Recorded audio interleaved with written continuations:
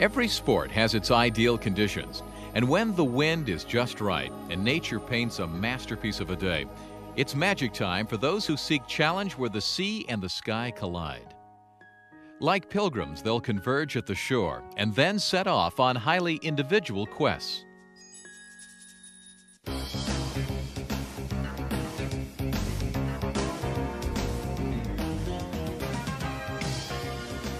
At windsurfing's upper echelon, speed is only part of the thrill. The real rush is to gain air, to blur the line between wave and wind.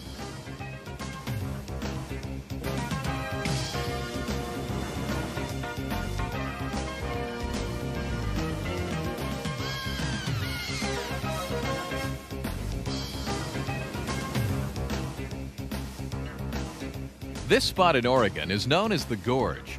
Here, the prevailing winds are so perfect so often, it's a mecca for the windsurfing elite and a showcase for the hottest new designs and innovations.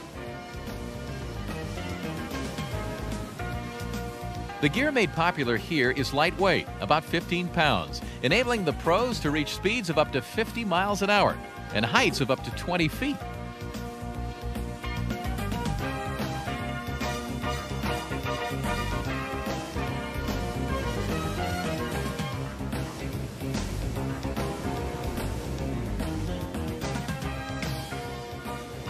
From the Phoenicians to the Polynesians to the British Armada of Sir Francis Drake, man has always sought control of the high seas.